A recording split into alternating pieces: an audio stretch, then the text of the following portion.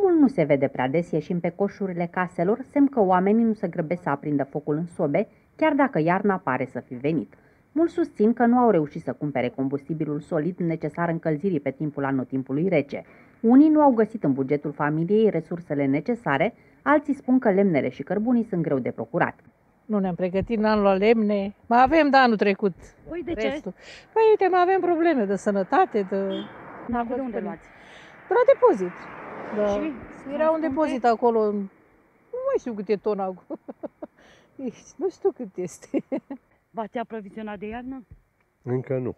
Nu am avut timp. Abia sunt cu recolta după când să o strâng. Avem depozite pe aici, prin apropiere. Și au lemne? Aduc, aduc. Chiar dacă nu au momentan, dar aduc pe urmă. Nu găsesc e, deocamdată. Se fac comandă, să le vedem de unde le iau. Cărbune am luat, am luat de la Valea Mare, Și prețul cum a fost? 3600 de milioane, 600. 30, Tona. da.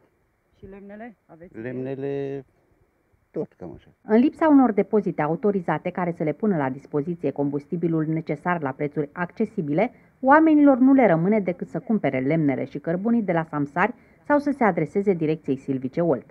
Cei care intenționează să facă acest lucru trebuie să se grăbească pentru că o mare parte din masa lemnoasă destinată comercializării a fost deja vândută. Pentru anul 2019, Direcția Silvică Olt are o cotă de tăiere de 94.000 de metri cubi. Până la data actuală am uh, recoltat 78.000 de metri cubi.